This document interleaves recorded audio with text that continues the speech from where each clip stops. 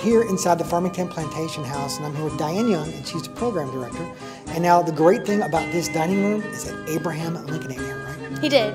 In 1841, he stayed here for three weeks, and he was invited by the Speed family. Now, what other history um, does Abraham Lincoln have with the Speeds, and, and why, why did he come here to Farmington?